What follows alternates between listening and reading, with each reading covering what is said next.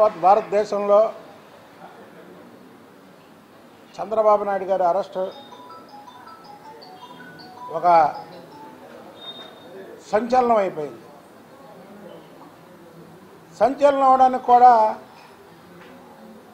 కారణం ఏంటంటే తప్పు చేసి జైలుకి వెళ్తే వేరు. జగన్మోహన్ రెడ్డి అతని కంపెనీల్లోకి డబ్బులు మళ్ళించి పక్కాగా సాక్ష్యాధారాలతో సహా దొరికిపోతే అతనికి ఉన్నటువంటి నలభై రెండు వేల కోట్ల రూపాయలు ఈ ఆస్తులు ఈడీ జప్తు చేసి దాన్ని రికార్డెడ్గా పెట్టడం జరిగింది. ఆ రోజు ఇక్కడ ఉన్నది కూడా తెలుగుదేశం ప్రభుత్వం కాదు. లేదా కేంద్రంలో ఉన్నది చంద్రబాబు నాయుడు గారు బలపరిచినటువంటి యూపీఏ కాదు. యూపీఏ చంద్రబాబు నాయుడు గారు బలపరచడం. ఆ రెండు ప్రభుత్వాలు కూడా చంద్రబాబు నాయుడు గారికి సంబంధం లేనటువంటి ప్రభుత్వాలు. ఇక్కడ కాంగ్రెస్ పార్టీ కానీ అక్కడ కాంగ్రెస్ పార్టీ కానీ అతన్ని పక్కా సాక్ష్యాధారాలతో ఆ రోజు ఆ ప్రభుత్వాలు అతను అరెస్ట్ చేసి లోపల పెట్టి అతని ఆస్తుల్ని ఈడీ సీజ్ చేయడం జరిగింది. దానికి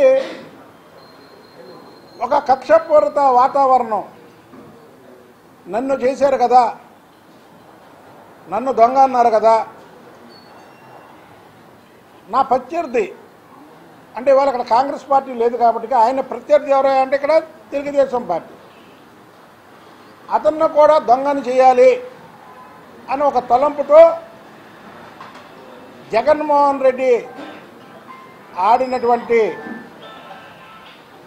స్కెచ్చే చేసినటువంటి స్కెచ్చే చంద్రబాబు నాయుడు గారిని అక్రమ అరెస్ట్ అని తెలియజేస్తాను నేను ఎంతోమంది న్యాయ నిపుణులతో మాట్లాడా.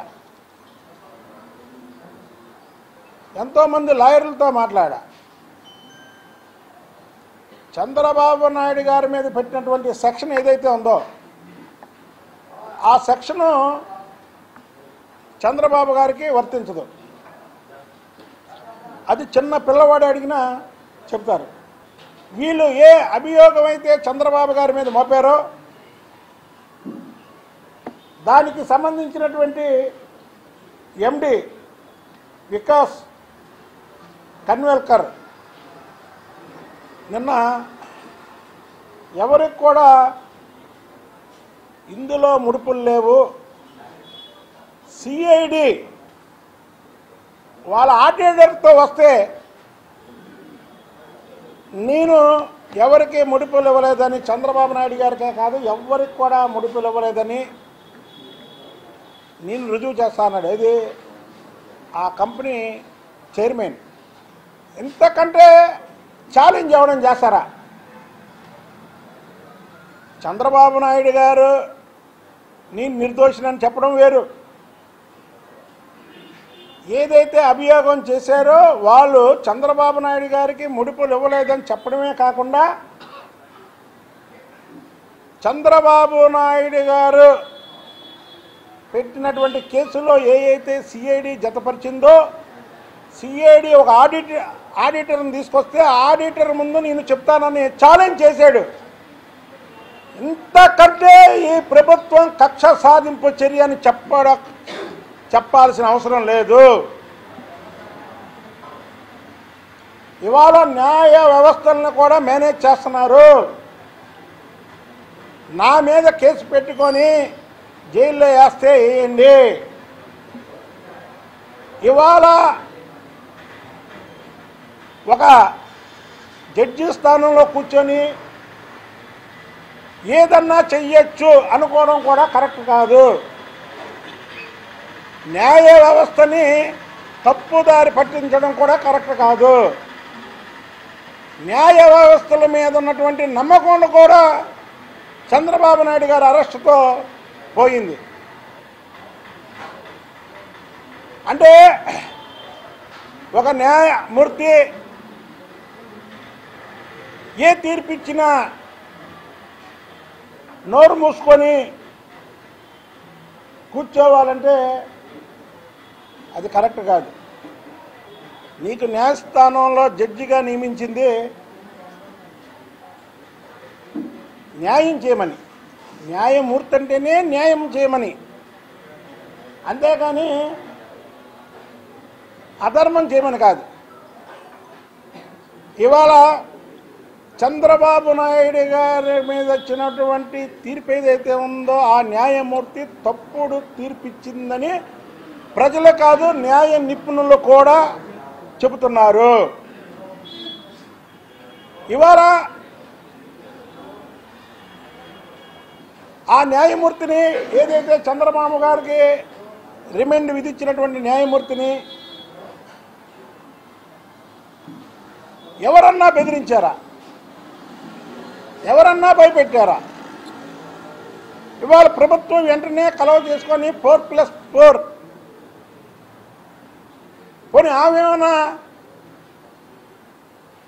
నాకు రక్షణ కావాలని ఇచ్చిందా? ఎందుకు ఎంత ఆదుర్తాగా ఫోర్ ప్లస్ ఫోర్ ప్రభుత్వం ఆమెకి గన్మెన్ ఇవ్వడం? అంటే ఇదంతా కూడా వ్యవస్థల్ని మేనేజ్ చేసి జగన్మోహన్ రెడ్డి లండన్లో ఉండి వ్యవస్థల్ని మేనేజ్ చేసి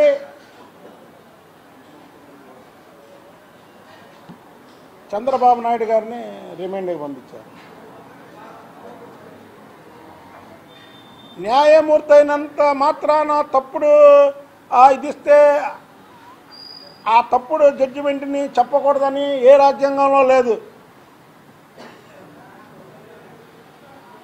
న్యాయమూర్తులు ఇక్కడ కూర్చున్నాం నిరాదీక్షలు చేస్తున్నాము. అలాగని ఇక్కడ ఉన్న వాళ్ళందరికీ ఉరిశిక్ష చేయడానికి వాళ్ళకి ఏం రూల్ లేదు కదా? అంటే ఏదన్నా జడ్జిమెంట్ ఇవ్వాలనే రూల్ లేదు. అంటే వాళ్ళ చంద్రబాబు నాయుడు గారికి ఇచ్చినటువంటి జడ్జిమెంట్లో మాత్రం నేను ఇందాక చెప్పినట్టు ఇక్కడ కూర్చున్న వాళ్ళందరికీ ఉరిశిక్ష చేయడం ఎంత అధర్మమో. చంద్రబాబు నాయుడు గారికి రిమైండ్ పంపించడం అంతే అధర్మం. ఎందుకంటే నేను ఇక్కడ భయపడు. ఏ కుర్చీ తీసుకొచ్చి దాన్ని. ఇక్కడ భయపడి న్యాయ వ్యవస్థ మీద నేను మాట్లాడకపోతే ఇక ఎవరు మాట్లాడరు. ఎందుకంటే మాట్లాడాలి. మాట్లాడాల్సిన టైం వచ్చింది. ఏ సోపసకి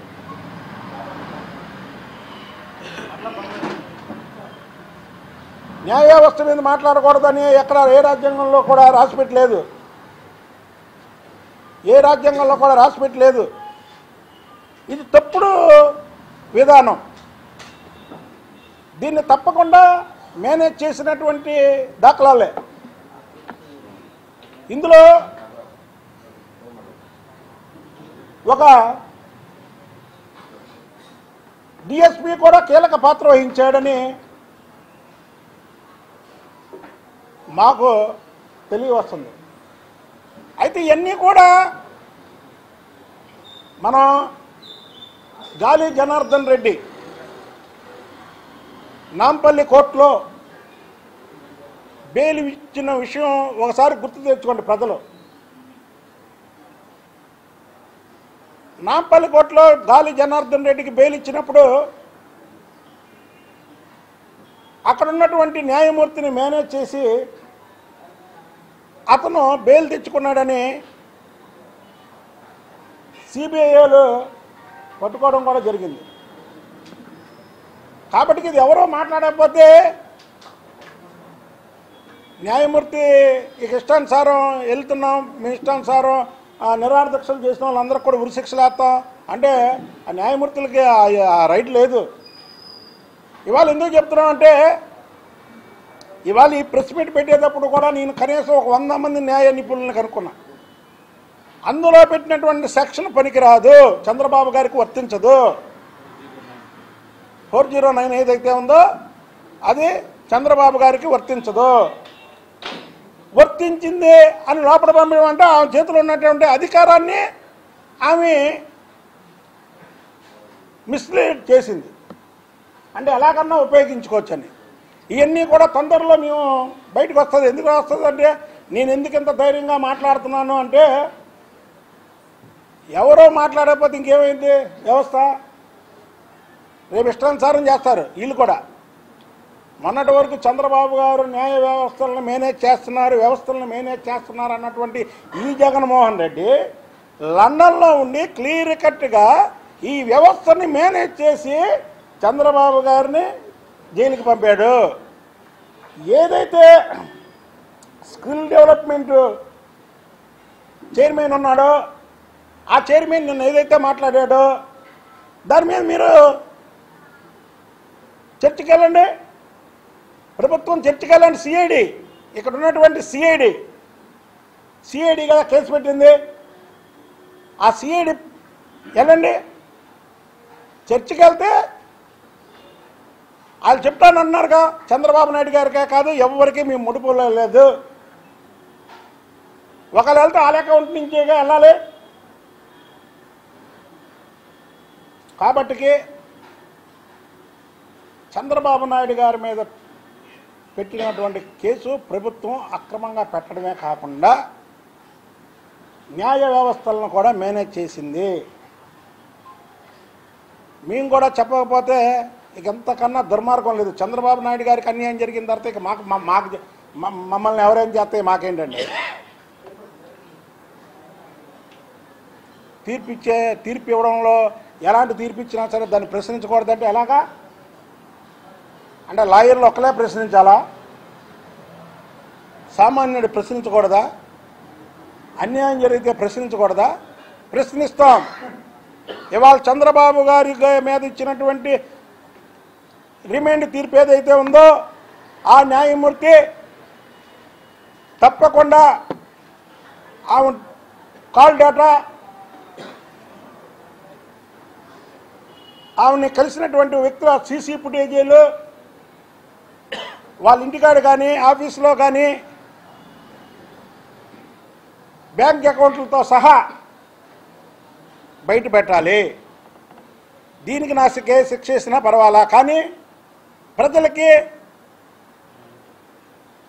నిజం తెలియాలి. ఎందుకంటే మచ్చలేని చంద్రుడు చంద్రబాబు నాయుడు.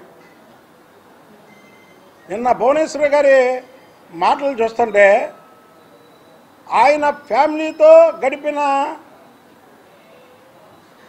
రోజులు గంటల్లో ప్రజల కోసం గడిపినదే ఆయన జీవితాంతం. ఆ ప్రజల్లో ఒకడిగా నేను కూడా ఈ నిజాలు చెప్పకుండా ఈ నిజాలని నిర్భయంగా చెప్పకుండా నన్నేదో చేసేస్తారేమో లేకపోతే నా కుటుంబాన్ని ఏదో చేసేస్తారేమో అని పిరికి బందలాగా బతకడం నాకు ఇష్టం లేదు. కాబట్టికి సుప్రీంకోర్టు దీంట్లో కలవ చేసుకొని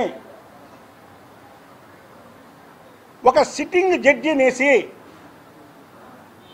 ఈ కేసు పూర్వాపరాల నుంచి చంద్రబాబు నాయుడు గారిని రిమాండ్కి పంపించే వరకు కూడా ముగ్గురు న్యాయమూర్తుల్ని కేసు వేసి సుమోటోగా తీసుకొని ఈ కేసు మీద విచారణ జరపాలని డిమాండ్ చేస్తున్నా.